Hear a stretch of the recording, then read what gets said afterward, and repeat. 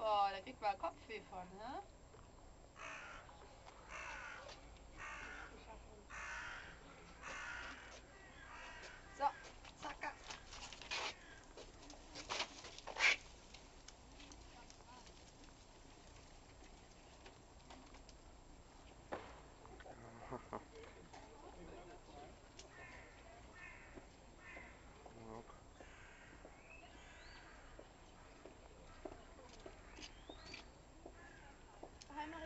have a nice week.